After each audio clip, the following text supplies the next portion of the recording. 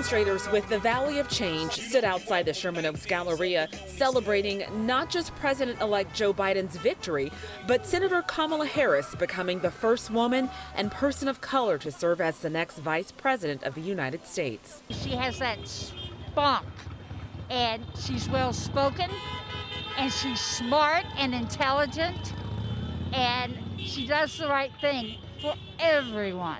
I can't wait to see what she continues to do. She's going to do huge things. The, the fact that little girls can look on TV of any race and say, hey, I can do that, but especially people of color. The California native rose to success after graduating from a historically black college, eventually becoming California's first female attorney general and an accomplished U.S. senator. She's also the proud daughter of Jamaican and Indian immigrants.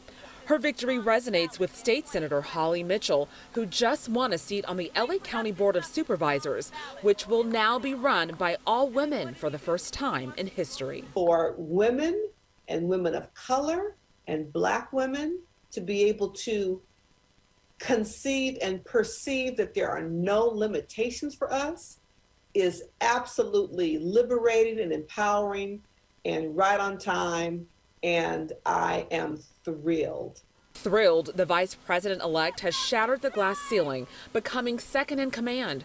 Harris's sister also beaming with pride on Twitter. She shared a picture of their deceased mother and wrote, Mommy taught us we could be and do anything. She would be beyond proud today. Governor Gavin Newsom also tweeted, My dear friend and now Madam Vice President elect, congratulations. California is so, so proud today. Supporters say while Harris is a symbol of strength and perseverance, there's still a lot of work to be done when it comes to the fight for equality. In Sherman Oaks, Kandiss Crone, KCAL 9 News.